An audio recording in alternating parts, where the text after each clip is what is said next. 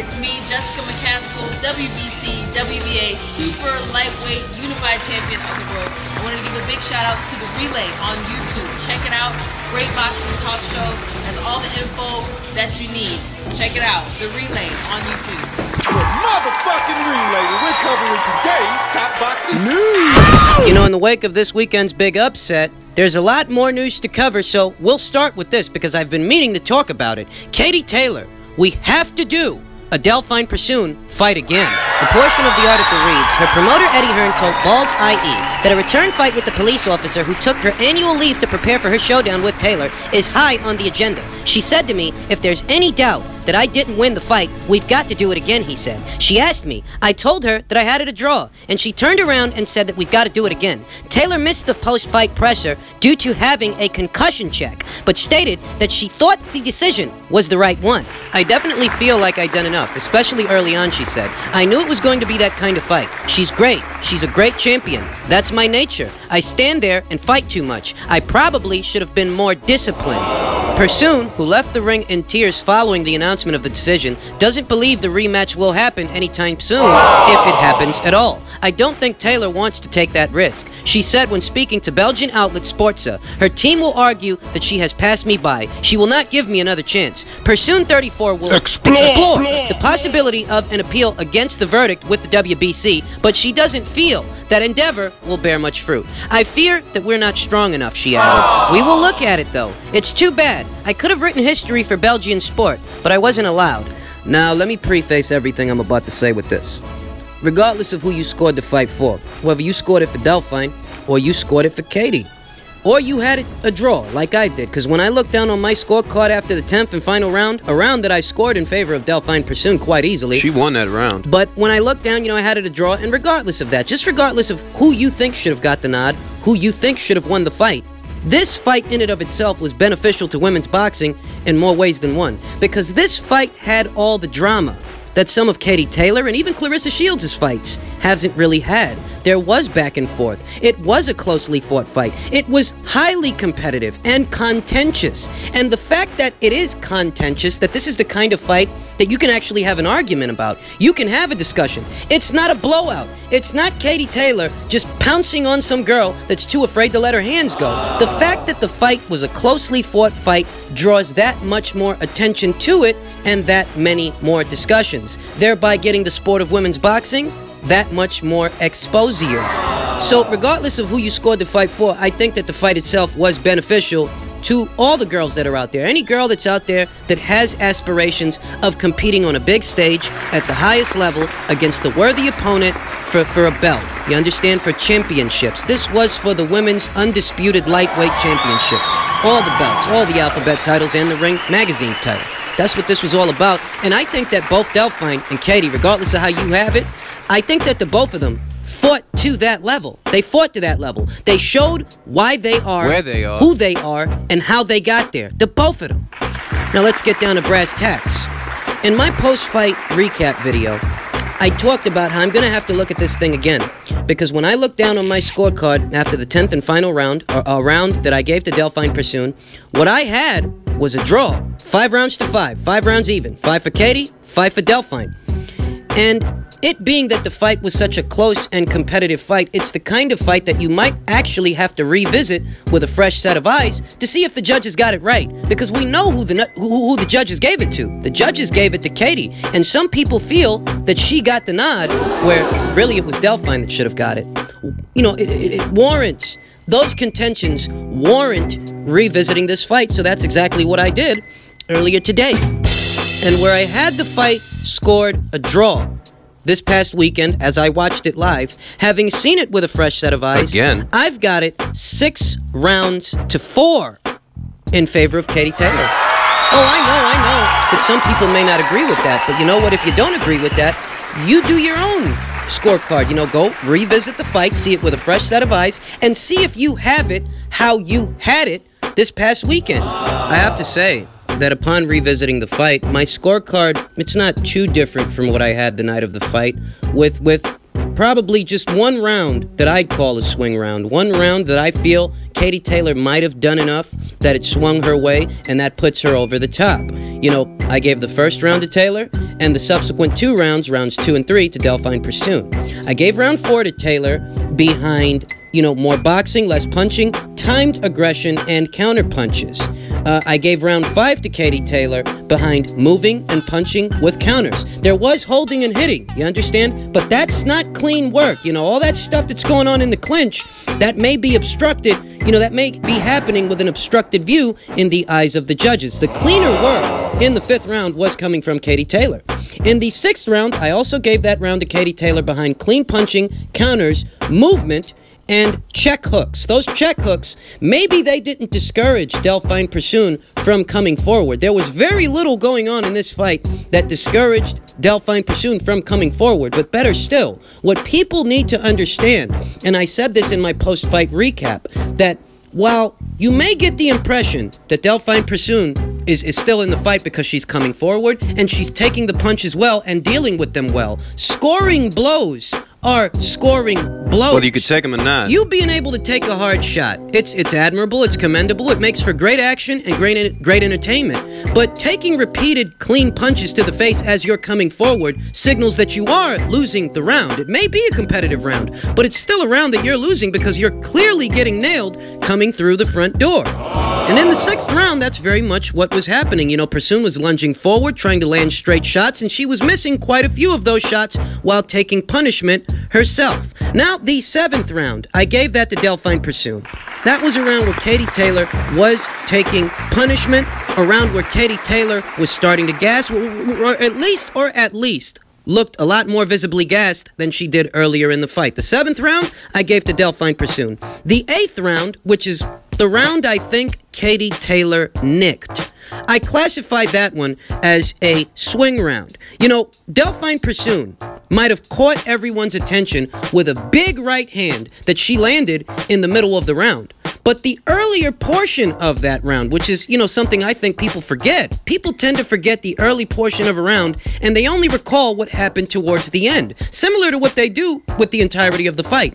The early portion of that round, the early portion of the eighth round, which I think was a swing round, but a, a round that Katie Taylor had done enough to nick, is she landed a lot of combinations early in the round. She strung some punches together, and Delphine Persoon was on the receiving end of those punches. And you have to understand that even if Delphine is taking the punches well, she's still taking them. So those still are scoring blows. That Delphine, you know, she might have had some highlights in the round. She landed a really big right hand that sent Katie Taylor reeling into the ropes. But that big right hand in and of itself, and a few hard shots here and there, that's just not enough to have won the round when she landed several combinations on you earlier in the round. Now, the ninth round. I gave that to Taylor behind cleaner combinations, cleaner work, and better defensive movements. That was a round that, if you revisit, you will see Katie Taylor angling her torso up, down, and around Delphine Persoon's shots, her aggression. The 10th round is clearly a round I gave to Delphine Persoon because by this time, Katie Taylor's punches are even more ineffective than they have been throughout the duration of the fight. And Delphine Persoon is landing some very hard shots. To sum it all up, after having revisited the fight with a fresh set of eyes, I have it six rounds to four, Katie Taylor, with Katie nicking the eighth round. Some slight differences aside, with one round that Katie Taylor may have nicked, my initial interpretation of the fight, my initial impression, it hasn't changed. That if there are people out there that feel like Delphine had done enough to win the fight, it's likely because she was always the one coming forward. But they're not accounting for how much punishment she took. Even if she took the shots well, she still took the shots. And fights are scored round by round on the premise of clean punching, effective aggression, ring generalship, and defense. Defense was something that Delphine Persoon was lacking, even in rounds that she won, because she still took quite a bit of punishment. She didn't get the swelling on her left eye for no fucking reason, okay? Her gamesmanship is what has people oohing and eyeing and feeling like she perhaps won this fight. But if you know how to score a fight and you know the, the, the premise, the overall premise that rounds are scored upon, a fight is scored round by round. That's how you got to look at this thing. And even if Delphine is showing good durability, good aggression, good power, and a fantastic fucking engine, because I don't think there's anybody in that weight class that could have fought that kind of a fight at that pace for 10 rounds. Besides her. You know, Delphine, you got to take your hat off to her. But those things in mind, yeah, she was taking punishment. She might have been able to take it, but she still took it. And that denotes how she might have lost one or some of these rounds. The good news is, however, that both girls want the rematch. Delphine wants that rematch just as much as Katie does, if not more. And Katie wants to afford her that opportunity. So before we go, you know, get into a fist fight over the goddamn thing, rest assured, these girls will fight again. And a clear and apparent victor, if you don't think there was one, a clear and apparent victor will be determined.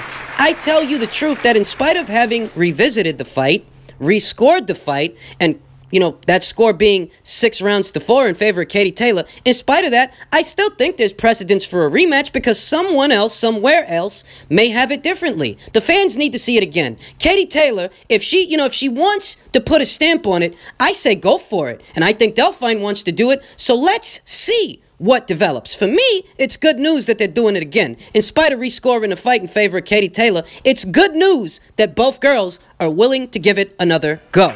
In other news, former cruiserweight undisputed champion Alexander Usyk is named by the WBC as a champion in recess. The WBC states that Usyk maintains his rights as a world champion if he ever decides to move down in weight. It gives Usyk the power to challenge the current world champion.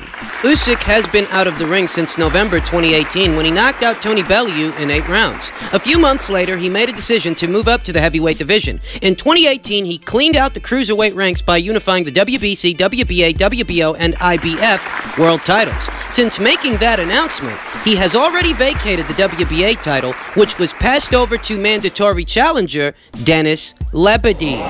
Now, basically, what this move effectively does is put the WBC world title, the full version of the world title, back into circulation, back into contention within the cruiserweight ranks, but simultaneously leaves the door open for Usyk to come back, should he want to come back, and fight for it.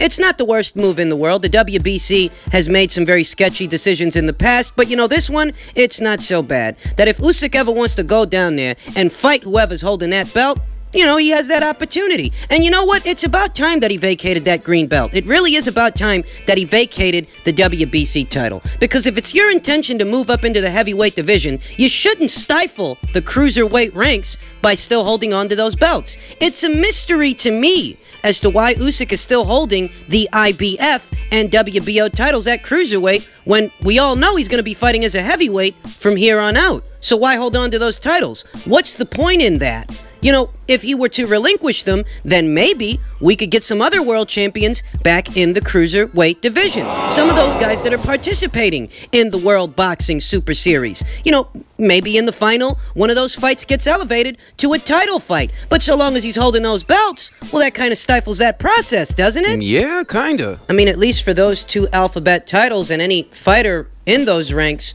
with aspirations of, of procuring those belts, you know, the, the IBF and, and the WBO. Now, as far as the WBC, it being that Usyk is now a champion in recess and the title will be put back into circulation, it's conceivable that the upcoming fight between Yunier Dorticos and Andrew Tabiti may be elevated to either a title fight or a final eliminator of some kind. But essentially, that the winner of that fight will be close to procuring that green belt. It being that both Andrew Tabiti and Yunier Dorticos are the number two and number three guys in the WBC's cruiserweight rankings, with Murat Gassiev seated at number one.